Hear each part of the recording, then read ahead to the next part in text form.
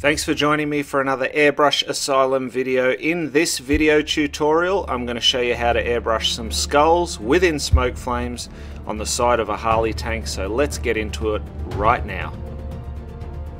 So you'll notice here I've got the bar and shield Harley Davidson logo cut out. This is to scale and I've weeded it so to leave a positive mask and I've put some blue Metamark vinyl on there as an application tape so that way I can see through it. And then I've stuck that into position on the Harley tank. And now what I'm doing is using Trident white. I'm starting to bring in some of those smoke flames. So just using the white to create these flames. And in order to sketch out this uh, smoke flame effect I'm using my fire tool template set uh, this is the regular size. You, you can also get them in a half size, so these are known as the mini sets. The template here is the Skull Background 2 by Airshot Stencils, and I'm using that um, just as a loose mask to sketch in where I want my skulls to go. You can also see the positive mask of the Bar and Shield Harley Davidson logo, so that's masking off that area.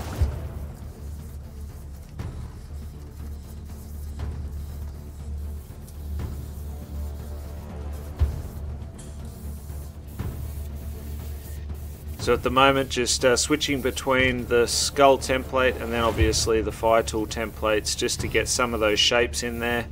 And you'll notice that I um, I'll hold the template in a certain spot get that sharp edge and then generally the other edge will be a softer one that just is uh, created freehand from the overspray.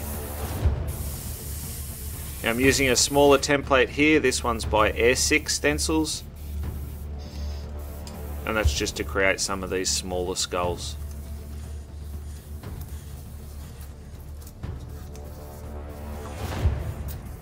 You can see I'm sort of uh, paying attention to where that uh, bar and shield logo is and I'm working my uh, underpainting around that.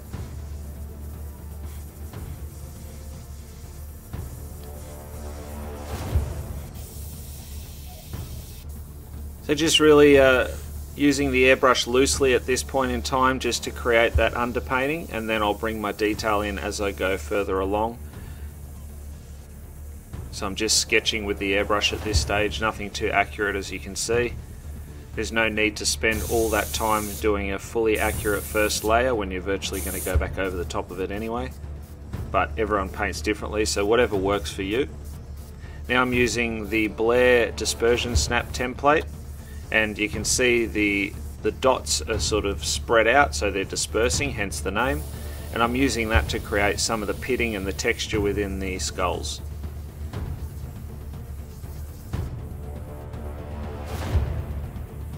Again a bit of uh, freehand to blend it all out and to keep building on my artwork as I go.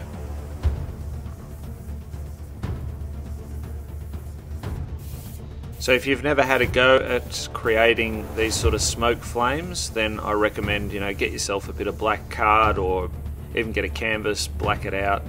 You can even buy black canvases now, so or even a uh, LU panel will work and that'll simulate this particular surface more accurately. But start on a sample panel, give it a go, and if you make any mistakes, just use black to eliminate whatever you don't like and then just keep going. It does take a bit of practice to get that flow and to get it all to sort of work really nicely with the skulls that you're putting into it. So that's kind of why I like to start off with sketching my uh, basic shapes of where the fire is going to go and how that's interacting with the shape of the tank and then I bring my skulls into that. So you'll notice here now I'm switching to a transparent black. So this is transparent base mixed with black and I also add some reducer in it and because it's transparent black I've got it at a fairly uh, strong intensity but you can definitely back that off by adding less black and just adding in another tone especially if you're just starting out with your airbrushing and you haven't got this sort of control as yet. So if you do go darker then you need to have a lot more control over the airbrush. So just gauge what level you're at and just apply whatever method works best for you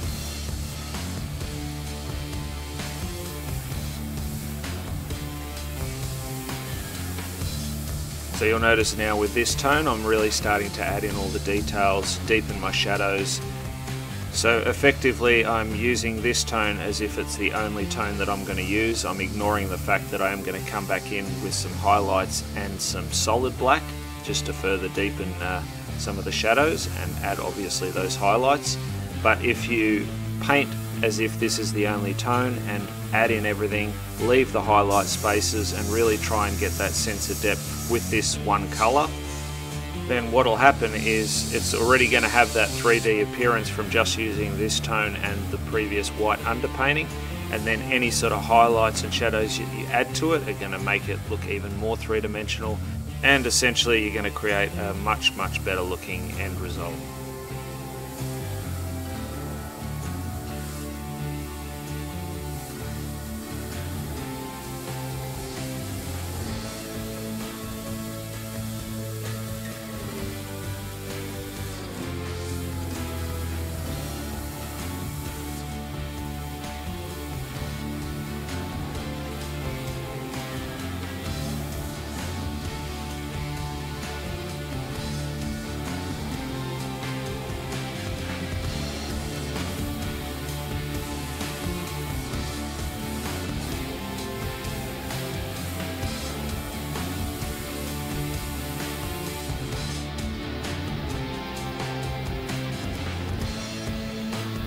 So if this is the first time watching one of our videos then welcome for all of our regular viewers welcome back. I do hope that you're enjoying this video tutorial so far. If you are give it the thumbs up and share it out. Let's build this airbrushing community together and if you haven't already consider subscribing. Tap on that bell icon and that will notify you every time I put out new content.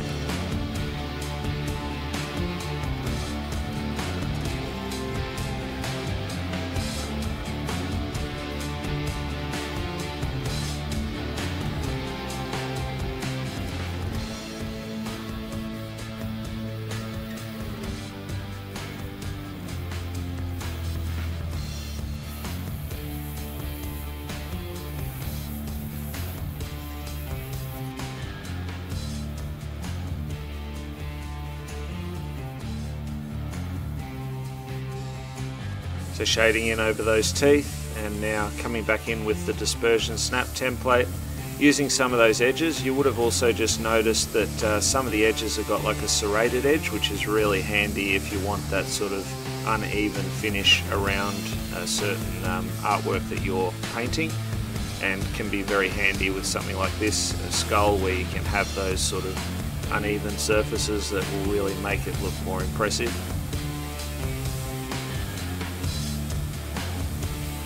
Just up nice and close to identify where those teeth are going and then um, once I've sketched them in then I shade out from that. Again take your time, you can see how close I am with that airbrush. This is the CMSB Micron which runs a 0.18mm needle nozzle setup so nice and fine and I usually run my air pressure through this uh, airbrush at about 20 to 25 psi with a 30% um, paint to 70% reducer mix.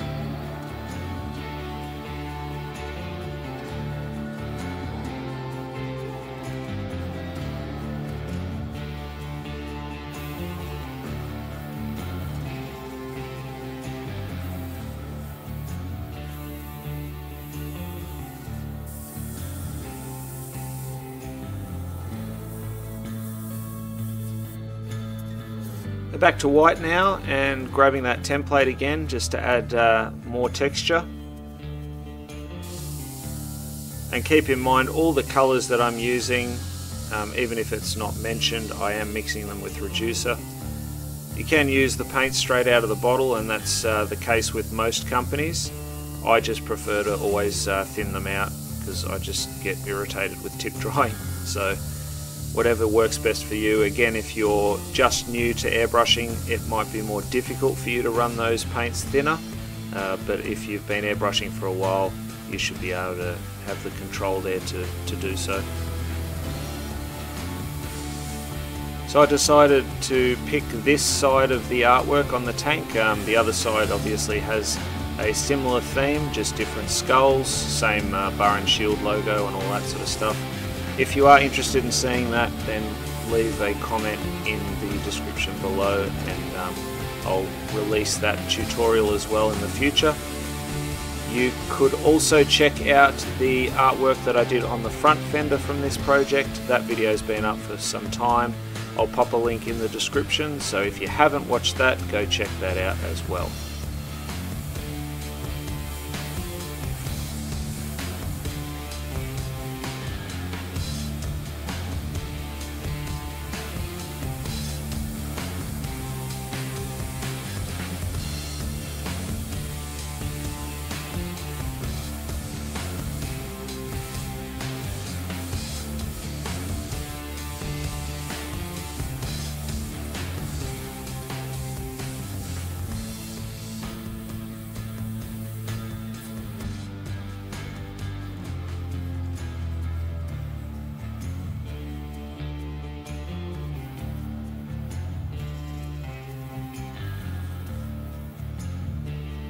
So utilizing that white uh, to add some highlights to the teeth so you can see how close and how sharp I'm working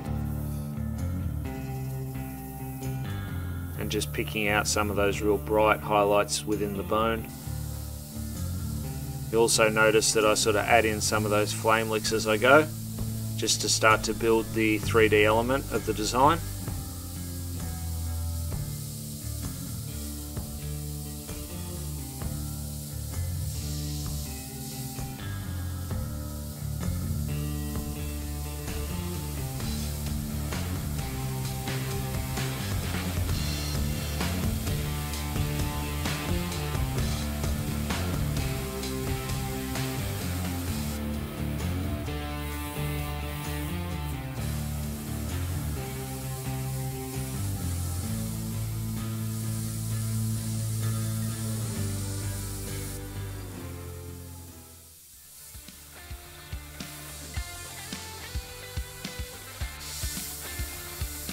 Okay, so switching over to black now, just to add a bit more contrast and deepen some of those shadows.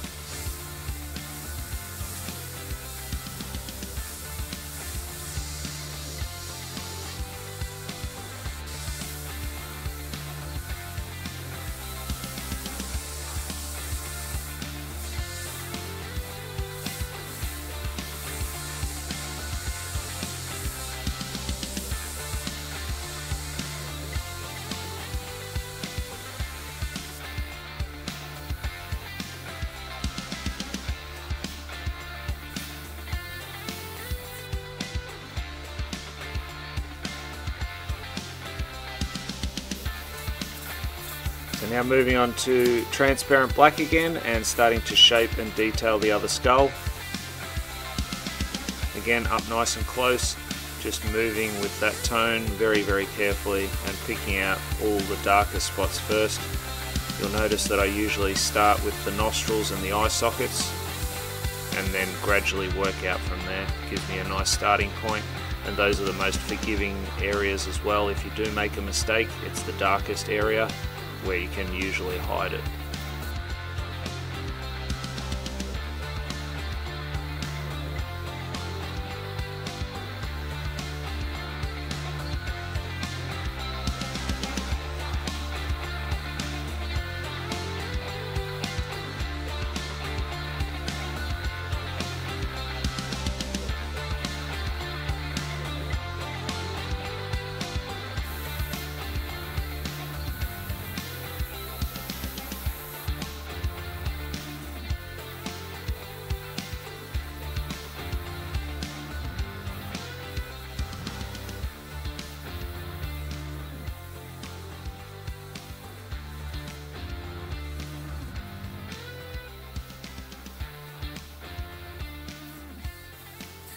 Switching back to white, add some more of the texturing and also highlights. Now there's a lot more uh, texturing that went on. I just sort of cut bits out of the video so you, you basically understand how it was done utilizing that template and just continually moving it around. I sort of spray through it and then move it as I'm spraying through it to get sort of more of a motion blur and then leave it straight flat onto the surface and spray uh, directly through it to get a more defined texture. So depending on which way you do it will create all different effects. Okay, so back onto the black and pulling out the detailing to deepen the shadows and detail the skull. The skull's not taking as long, doesn't have lower jaw and it's a lot smaller. So still trying to put in a lot of detail in a small area. You also notice that I'm using that black to start to shape some of the flames and sharpen them up around the skull area and also deepen some of those uh, layers of the flames. So onto another skull now, uh, starting with the transparent black, adding some of that texture in there and then again freehanding in the detail. If you're not confident with freehanding it then um, and some of the areas you want sharper you can definitely utilize the template, line up the template onto that particular skull and uh, use that to get your sharp edges. And if you're not sort of confident just doing this off the top of your head, as I am, you can get some skull references, easy enough to do if you just Google skulls and uh, do an image search. You'll find lots of different reference images there that you can utilize to uh, use as a reference to better create your skull. These are more of a stylized look, uh, so they're not intended to be photorealistic the uh, customer actually, the, the reference that he gave me was extremely cartoony looking skulls and I sort of said to him, well how about I do them in my style and I'll add a bit more realism to them as far as texturing and that is concerned and um, did him a little sample and yeah, he was more than happy so we went with that. Okay, so using the white again and bringing out some of those highlights. You'll also notice the flame leak coming out of the eye sockets there. So I'll further define all of that later. But as I'm going, you can see I've got uh, little bits of that working into the design already. Again, coming in with black and finishing off those details in this particular skull.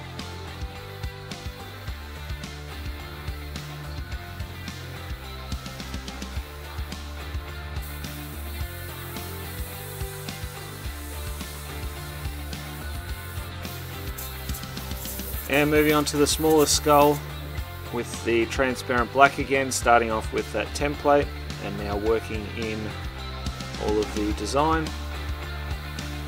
So exactly the same method, just repeated. I thought it'd still be handy to show each individual skull because they're all a little bit different. And then you can follow along and practice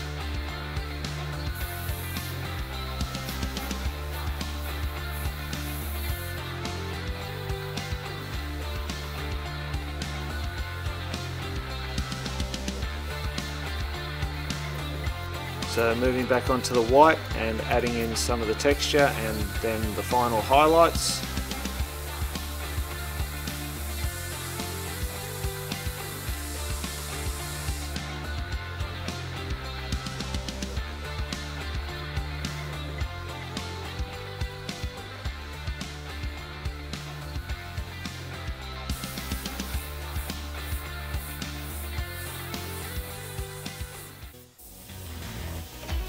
Okay, so now I'm using black and I'm going to define some of these flames and I'm also coming in and shading out some of the skulls, giving it a bit more shape if necessary. There's also a little mark on the front of the tank where it was, uh, the painter prepped it, he sanded through slightly. You can see that little white dot there, so I'm going to go and hit that as well.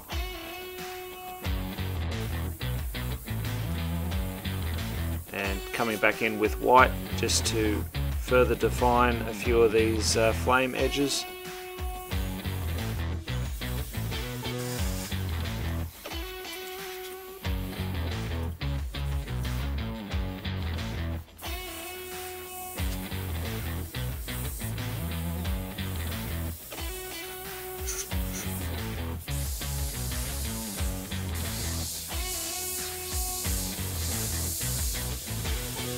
And now uh, bringing some of those flame licks really into the design so that the skulls look like they're within the flame, not just uh, sitting on top of it. And brightening up some of the areas as well. Because I'm keeping in mind that once I uh, remove that positive mask, that's going to show a black emblem. So if I don't have enough white around it, it could just disappear into the tank or not look as uh, obvious.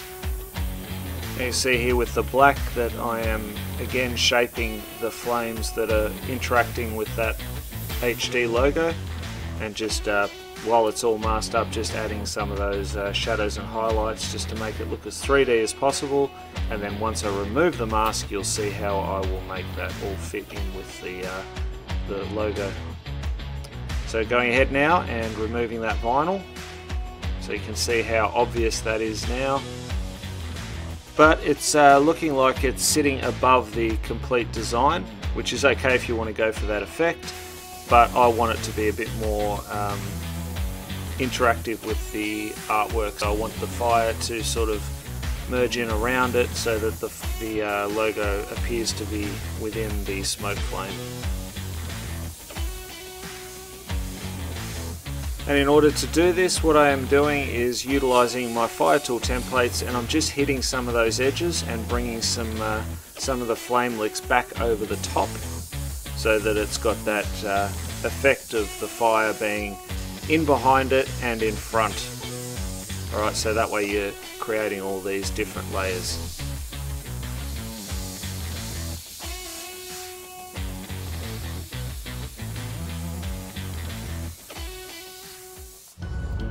And here is a shot of the completed artwork on the side of the Harley tank. This is shown before clear, so all parts of this bike that were airbrushed were cleared with 2-pack glossy clear. Unfortunately I don't have any images or video footage to show you. The customer picked it up as soon as it was cleared.